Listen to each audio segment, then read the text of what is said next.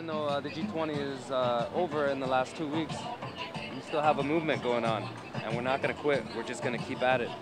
'Cause this is Canada. We love it. Our home and native land. We stand on guard for the.